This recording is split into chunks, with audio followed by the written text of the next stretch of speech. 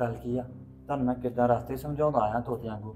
ਉਹ ਗੱਲ ਨਹੀਂ ਤੁਸੀਂ ਆ ਗਏ ਇੱਥੇ ਹੋਰ ਹੀ ਰਾਜੀ ਬਾਜੀ ਇਹ ਉਹ ਭਾਜੀ ਕਿੱਥੇ ਆ? ਵਿਆਹ ਮੈਂ ਕਿਹਾ ਕੁੜੀ ਸਾਡੀ ਆ ਪੜ੍ਹੀ ਲਿਖੀ।